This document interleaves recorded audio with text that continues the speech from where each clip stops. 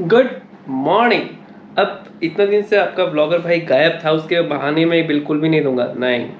बस तीन वर्ड में बताता हूँ आपको कि मैं कहाँ गायब था। पहला ड्राइविंग क्लास कर रहा था। दूसरा, जो अपना वर्कलोड था ऑफ़िस में, कुछ ज़्यादा ही था तो शूट करना पॉसिबल नहीं था। थर्ड छोटा सा माइनर सा एक एक्सीडेंट हुआ था। बस, इतना ही है। और आज हमारा एक छोटा सा प्लान है? इतने सुबह सुबह आपका ब्लॉगर भाई अगर रेडी हो रहा है, पाँच बजे अभी मॉर्निंग के, अगर पाँच बजे अगर आपका ब्लॉगर भाई रेडी हो रहा है, इसका मतलब है कहीं जा रही, जा ही रहा होगा ऑब्वियसली तो दो जन हमारे साथ आज जाएँगे विशाल भाई, जिनको मैंने उठा दिया है आधे घंटे पहले, और ध्रुव भाई, जिनको मैंने उठा दिया है डेढ़ घंटे पहले। समझ रहे हो ना? तो ज़्यादा देरी नहीं करेंगे। निकलेंगे कहाँ जाना है, वो मैं आपको रास्ते में बता रहा हूँ, हमने डिसाइड कर लिया है कहाँ जाना है। तो रास्ते में बताता हूँ। तो ये वीडियो को स्टार्ट करते हैं। बिना इंट्रोडक्शन के वीडियो थोड़ा सा फीका लगता है। तो नमस्ते, सलाम वालेकुम, खमगड़ी के show welcome back to vlogging Vivek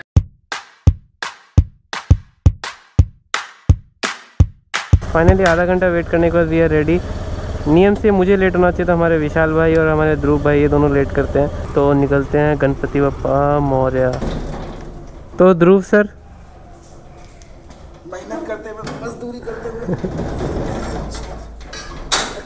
काफ़ी साल लगा दिया आपने हमारे ब्लॉग में आते आते। आगे हो आगे हो। काफ़ी साल लगा दिए। अच्छा लास्ट चार प्लान कैंसिल किया ये बंदा। चार प्लान को कैंसिल किया दो प्लान यहाँ तक कि गौतम लोग भी अभी तक गाली दे रहे हैं दे दे के कैमरा के सामने मत करो। तो अब क्वेश्चन ये आता है कि हम लोग क्या कर रहे हैं? हम लोग जा रहे हैं बोको बोको एक्चुअली जाने का प्लान था। हमारा बोको पार्वती पहाड़ और एक एमरंगकोना वाटरफॉल है। तो वो दोनों जगह ही जाने का हमारा प्लान है लेकिन टाइम की जो है थोड़ी सी शॉर्टेज है। अगर पॉसिबल हुआ तो हम दोनों जगह ही जाके आएँगे और अगर नहीं हुआ तो हम लोग एमरंगकोना वाटरफॉल देख के आएँगे क्योंकि बोको पार्वती पहाड़ जो है वो हमने लास्ट टाइम देखा ही था। यहाँ से अभी जो बोको है वो रही यहाँ से जो विजयनगर है around thirty thirty five kilometre है। यहाँ से विजयनगर 35 किलोमीटर है वाह। तो वाह। कंफ्यूज कर दिया तो विजयनगर में बैठ के बंदा बोल रहा है विजयनगर 35 किलोमीटर दूर है। फ़िलहाल अभी हम लोग विजयनगर में यहाँ से जो अपना बुको है वो थर्टी फाइव किलोमीटर है। विजयनगर में एक्चुअली खाने पीने का थोड़ा सीन सही है तो इसलिए हम लोग यहाँ पे रुक के थोड़ा सा अपना ये पराठा आ जाए और मेरी एक स्पेशल रिक्वेस्ट है समोसा मेरे बहुत मन करता है यहाँ पे आने के लिए। तो आते हैं चलते हैं। तो अभी यहाँ से विजयनगर से निकलते तीस पैंतीस किलोमीटर है, आधा एक घंटा लगना चाहिए बस विशाल भाई की स्पीड अगर मेंटेन रही तो। बीस की स्पीड में चला के आ रहा है बंदा। और हम अपने पचास साठ पचास साठ, क्योंकि अभी हाईवे में ज़्यादा स्पीड चलाएँगे तो चलान कट जाएगा, चलान कट जाएगा तो फिर सबके रोने हो जाएँगे। फाइनली हमारा रूट प्लान बन चुका है, सबसे पहले जो है हम जाएँगे बोको पार्वती पहाड़ के ऊपर। और अगर उसके बाद टाइम हुआ टाइम मेरे सबसे नहीं भी हुआ तो तो भी दस या पंद्रह मिनट के लिए हम लोग मिनिमम वहाँ से आसपास में ये ज़्यादा दूर नहीं है अपना ये जो एमरमकोना वाटरफॉल है। तो दस पंद्रह मिनट के लिए हमने सोचा है कि वहाँ पे रुक के आएँगे हम अरे, क्या सुंदर महक है। गाँव में घुसते ही गोबर की जो गंध आती है ना। अरे, नशा है, नशा। एक पेट्रोल की गंध और एक गोबर की गंध। अलग ही नशा है दोनों में। डेंड्राइट गांजा, ये सब तो सेकेंडरी नशे हो गए। ये अलग, ये, इसका नशा अलग ही है। हम लोग वी आर इन पार्वती पहाड़ राइट नाउ ये देखिए क्या लिखा हुआ है? यहाँ पर आएँगे चुम्मा चाटी नॉट अलाउड दारूबाजी not allowed लौंडियाबाजी not allowed strictly prohibited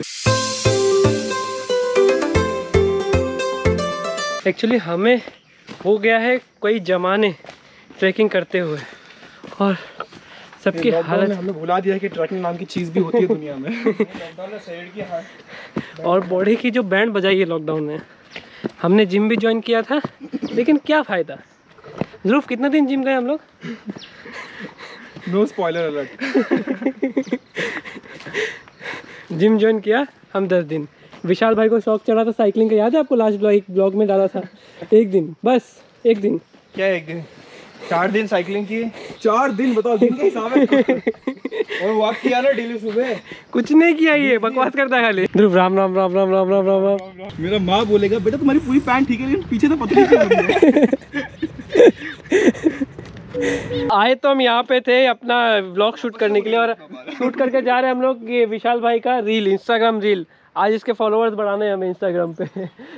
और यहाँ पे आते ही सबसे ज़्यादा जो कमी खलकती है वो है ड्रोन की। पिछले बार भी आया था तो यहाँ पे ड्रोन की बहुत कमी खलक खलकी थी। एक्चुअली हम मैंने इस बार डिसाइड भी करा था ड्रोन लेने के लिए लेकिन ड्रोन के रूल जो इंडिया में इतने स्ट्रिक्ट थे इतने स्ट्रिक्ट थे कि लेना पॉसिबल नहीं हुआ इसलिए मैंने बाइक बुक करा दी। अब बाइक बुक करा दी अब ड्रोन के रूल्स जो है सब एकदम नॉर्मल हो गए अब कोई भी ड्रोन उड़ा सकता है। क्या? इसलिए सही बोला है। मारवाड़ी ना बहुत अच्छा बहानेबाज आदमी होता है। बहानेबाज क्या? पूछा ऐसे ड्रोन वोन लेने के लिए रेडी हो गया था। हाँ, जैसे मोदी जी तो तुम्हारे लिए बैठे थे रूल हटाने के लिए। अब भी विवेक के लिए रूल अब- अब, अब- अब अब मैं भी ड्रोन लेने का सोच रहा हूँ लेकिन बाइक आ जाए पहले। फिर थोड़ी मैं हिम्मत जुटाऊँ, थोड़े पैसे जुटाऊँ, फिर उसके बाद लूँगा। तो यहाँ से अब जाने का वक्त हो गया। यहाँ से हम लोग जाएँगे अभी एमरोंग कोना वाटरफॉल अगर वो रूट पे पड़ा तो। और अगर ज़्यादा दूर हुआ तो शायद वो प्लान हम ड्रॉप कर सकते हैं थोड़ी देर आज के लिए तो। अब बाद में वापस से आएँगे। ध्रुव भी बोले सोच के बोल लिया करो, थोड़ा सोच के बोल लिया करो। थोड़ी देर के लिए। तुम्हारा नानी का घर नहीं है तो थोड़ी देर के लिए पोस्टपोन कर देंगे। तो रास्ते में जो है ना, बारिश आ रही थी, इसलिए मैंने शूट नहीं कर पाया है क्योंकि मेरा जो मीडिया मोड है, वो भीजने से ख़राब हो जाएगा वाटरप्रूफ नहीं, और वाटरप्रूफ करूँगा तो साउंड नहीं आएगा उसमें। और एमरन कोना के बारे में मैंने बहुत सुना था, हर्ष से सुना था, हर्ष बोल के एक ब्लॉगर उसका चैनल का लिंक भी मैं नीचे दे दूँगा। और ये जगह जो है, वाकई, आना यहाँ पे वर्थ है। अगर आप बुक को आ रहे हो, पार्वती तो पंद्रह बीस मिनट ज़्यादा एक्स्ट्रा लगेगा। यहाँ पे घुस के जाना। थोड़ा सा ट्रैकिंग है ऊपर वाटरफॉल तक जाने के लिए। वाटरफॉल ही खोज रहे हम लोग।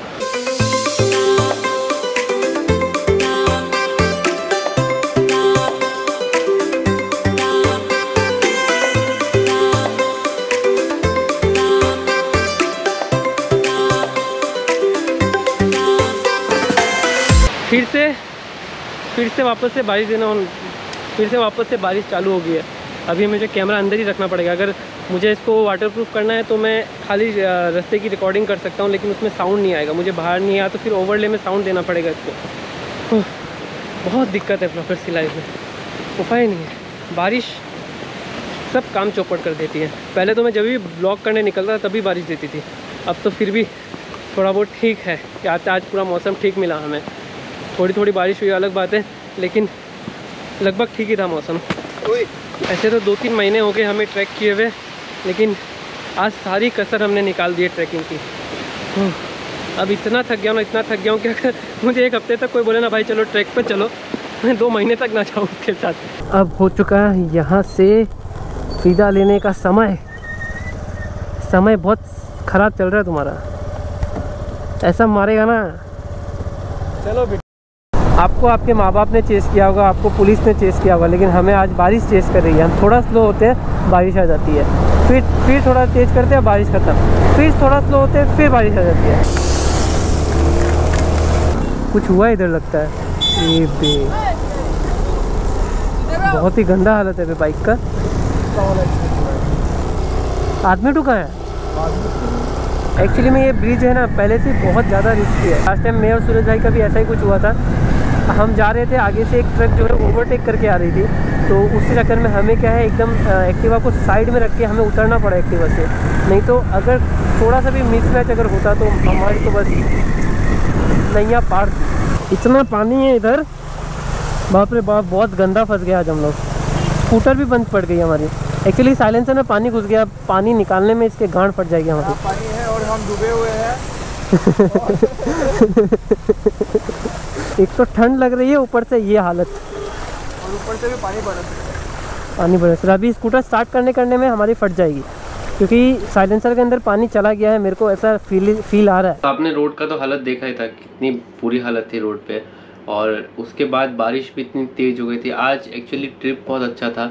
लेकिन लास्ट के जो आते सम, समय जो बारिश दी है ना उसने पूरी हालत जो है ख़राब कर दिया हमारी। अभी ऐसा हो रहा है कि लिटरली मैं बोल नहीं पा रहा हूँ। मैं आके सीधा नहाने गया और उसके बाद मैंने थोड़ा देर रेस्ट लिया एक दो घंटा। और अब ऐसा हालत हो गया है कि आँख में पूरा इरिटेशन हो रहा है और कुछ बोल नहीं मतलब अजीब सा फील हो रहा है, पता नहीं क्यों।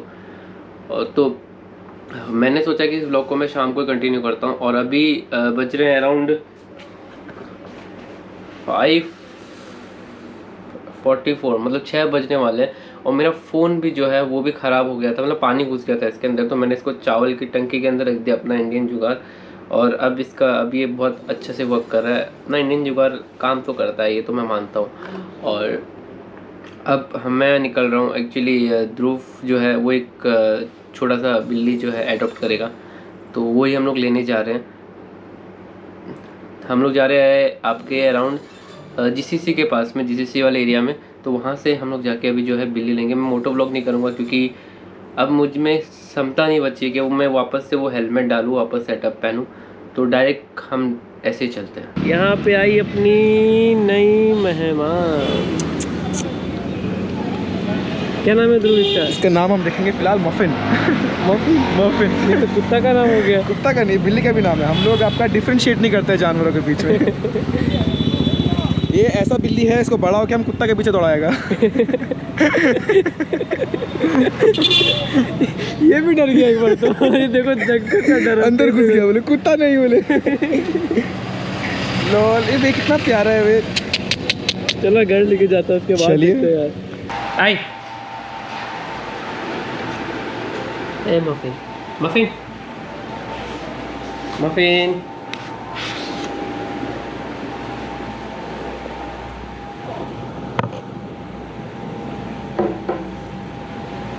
थारो नाम मफिन आ मफिन मफिन